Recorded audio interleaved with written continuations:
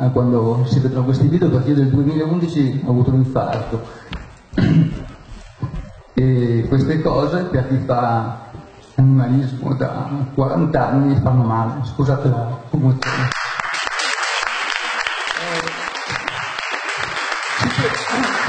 Ci avrei preferito, avrei preferito parlare prima del- della visione del, del video, perché io vorrei un attimino anche cogliere l'occasione, non sono un politico, ma eh, da, appunto da ormai 40 anni faccio campagne per, per la Lega Antivisezionista che come Lega sa benissimo cosa vuol dire combattere contro i poteri forti, no? combattere contro la, la vivisezione, sì sì gli animali eh, non la cacciano qui non là, però quando c'è da salvare le persone bisogna vivisezionare, bisogna fare tutte delle gran palle perché noi sappiamo benissimo che eh, i poteri forti ci vogliono cavi e da quello che mangiamo e da quello che poi ci curano perché come ci, come ci danno da mangiare delle sostanze che sappiamo benissimo che cosa accade negli inse- eh, intensivi.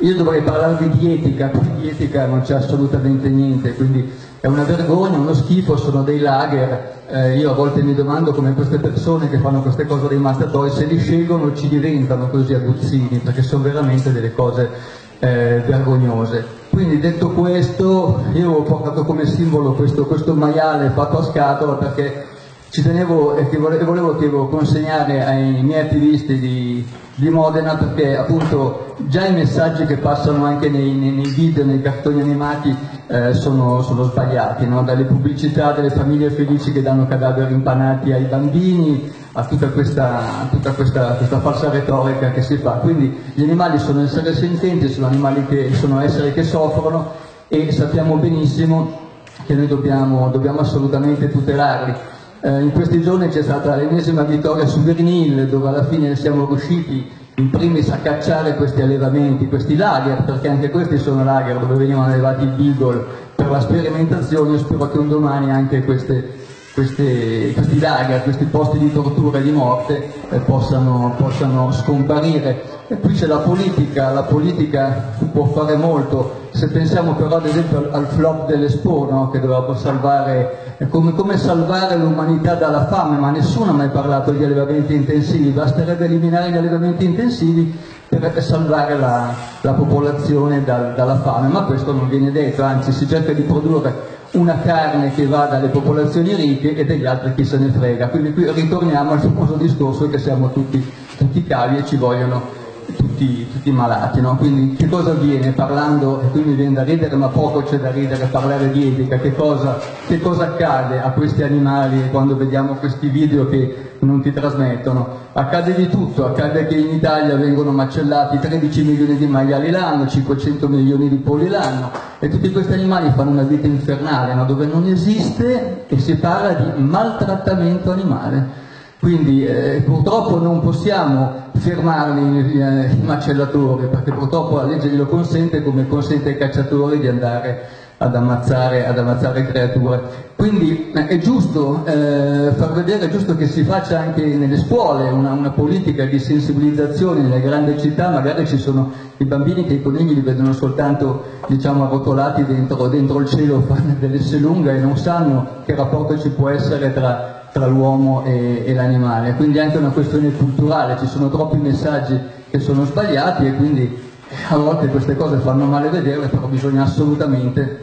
che, che la gente sappia, sappia che appunto i maialini gli viene tagliata la coda appena nati con dei pistoli roventi perché animali, i maiali sono animali socievoli, quindi avrebbero bisogno di, di paglia, di muoversi, di stare tra di loro, invece vivono in ambienti ristretti, impazziscono, si feriscono, si autolesionano pur di morire, perché poi la macellazione tutto sommato è forse la parte meno dolorosa rispetto a quello che un maiale da quando nasce eh, deve, deve subire in questi allevamenti dove subiscono di tutto e subiscono anche la cattiveria umana perché già sono già degli sfigati, passatemi il termine, che devono siamo noi che abbiamo creato gli animali da pelliccia, gli animali da laboratorio, gli animali da allevamento intensivo, quindi bisogna assolutamente che questa mentalità cambia e vorrei, ne approfitto, spero che appunto la politica ci dia una mano, qui siamo ancora in uno stato dove si danno i soldi ai circensi e cose di questo tipo. Quindi-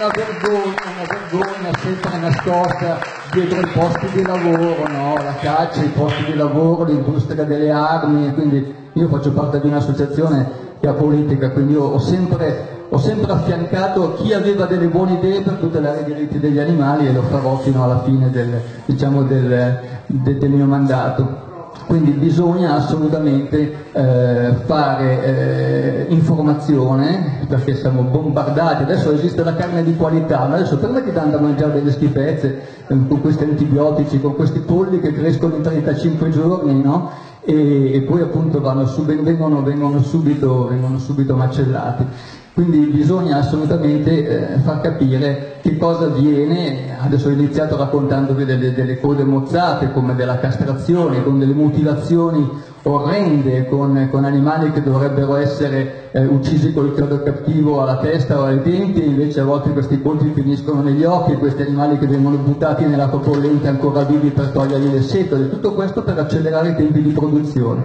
E tutto questo per che cosa? Per poi mangiare il il prosciutto, se ben chiaro, anch'io l'ho mangiato il prosciutto, eh, però alla fine penso che sono queste le cose che dovrebbero far capire che noi non abbiamo nessun diritto eh, a, trattare così gli animali perché fanno parte del nostro sistema e volevo anche ricordare che se la terra è in queste condizioni anche il mare non scherza perché anche con l'innalzamento delle temperature ancora due gradi il mare sarà morto, la barriera corallina ha già finito tutto quello che era eh,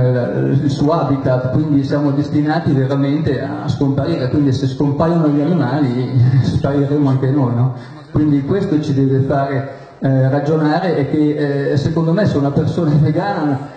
non è, che, non è, che, ci deve essere una lotta tra i vegani e i carnivori, secondo me i vegani sono più, sono più intelligenti perché hanno capito che, eh, ah, e qui volevo, ecco, per una parentesi, bisogna avvicinarsi alle associazioni animaliste, perché le associazioni animaliste fanno gli interessi anche delle, delle persone a cui degli animali non ne fregano niente. Quando parliamo di vivisezione il nostro slogan è una scienza che tuteli tutte le forme di vita, perché sappiamo anche qual è lo, il grosso sbaglio scientifico della vivisezione, quindi anche sull'alimentazione mangiare carne che non fa bene, carne che è malata sostanzialmente perché ha sofferto, perché ha prodotto tossine, perché comunque ci fa male, questo deve indirizzarci ad un'alternativa eh, intelligente che è per noi etica, perché noi dobbiamo capire che queste cose non si debbono fare e, e, e, nuociono e poi soprattutto perché dobbiamo tutelarci per la tutela di questo, questo pianeta. Molte cose sono già state dette, purtroppo la pianura padana è una cloaca a cielo aperto, lo sappiamo,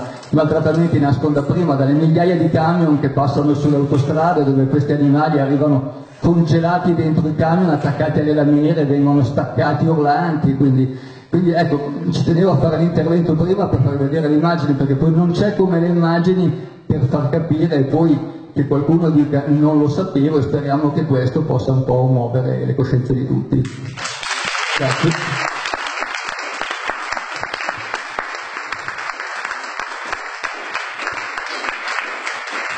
Grazie tante anche per averci raccontato questo segreto personale, insomma, perché purtroppo anche qui gli infarti sono in aumento tra le persone giovani eh, ci dicono che non è vero, ma sia gli infarti, le leucemie e quant'altro, noi vediamo i nostri amici ammalarsi tutti i giorni, ci dicono che non è vero, che siamo allarmisti e speriamo insomma, che democraticamente colpisca tutti, nel senso che purtroppo si ammalano sia quelli che non vogliono queste cose che quelli